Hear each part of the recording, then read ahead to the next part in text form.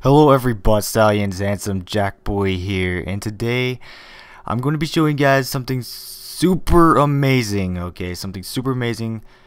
Um, basically my brother Tyler Kirkham that works for DC Comics, he drew me a picture of Roland from Borderlands 1, and it's just amazing, guys, okay. I, he drew it for me for Christmas, and man, thanks Ty. It's just so amazing, and I, I can't wait to show you guys. I'm just so excited right now. And if you guys don't know, he drew the picture of Handsome Jack for me. Uh, you know, Roland, he's he's my man. Okay, he's not my favorite all you know all time favorite Borderlands character. Handsome Jack is of course, but he is my second favorite all time Borderlands uh, Borderlands character.